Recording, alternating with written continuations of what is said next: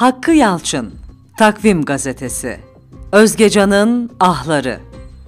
Bir ülkede adaletin yerini bulması için kampanyaların düzenlenmesi, o ülkedeki hukukun sorunlu olduğunun resmidir.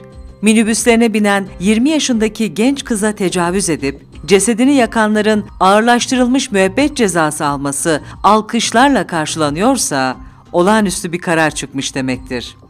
Çünkü nice kadın katili, nice genç kıza tecavüz eden sırtlan, sadece kravat taktığı için ceza indirimden yararlanmış. Ve o katiller soysuzluklarının arkasını getirmiştir. Tecavüz edilen, cesedi yakılan ve kadına şiddetin simgesi haline gelen 20 yaşındaki Özgecan Aslan'ın katillerine ağırlaştırılmış müebbet verildi. Gördük ki kadınların içine doldurulduğu kravatlı köpek balıklarının havuzu değildir bu ülke. Ama bundan sonrasını da görmek istiyoruz. Tecavüz edildikten sonra yakılarak öldürülen ve kadına şiddetin simgesi haline gelen, ağırlaştırılmış müebbet cezası alan Özgecan'ın katillerinin pis bakışlarının altında pişmanım yazıyor. Neye pişmansınız? 20 yaşındaki üniversite öğrencisi bir genç kızın canını aldığınız için mi? Tecavüz edip yaktığınız için mi? Yoksa yarım kalan tecavüz hayalleriniz için mi? İnsanlık tarihinin en eski icadıdır aynalar. O yüzden derler ya, önce yüzünden utan, sonra gerisi gelir.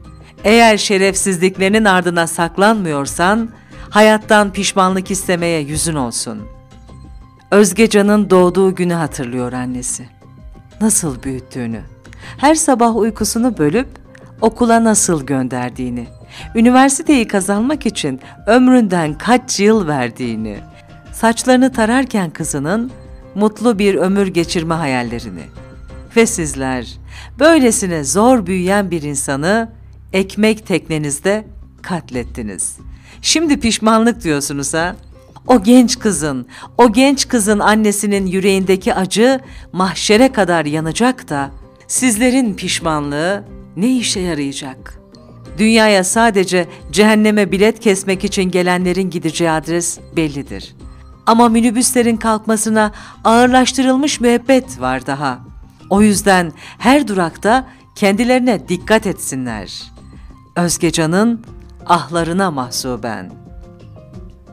Böyle bir günde bile engelli insanlar park eden araçlar yüzünden kaldırımlarda yürüyemedikleri için, hakları gasp edildikleri için, hiç olmazsa kendilerine ayrılmış Dünya Engelliler Günü'nde böyle bir hakka sahip olduklarını düşündükleri için İzmir'de yürümek istediler. Kaldırımları otopark olarak kullanan ahlaksız sürücülerin engelli insanlardan daha değerli olduğunu yetkililerden öğrendiler. Dünya Engelliler Günü'nde bile.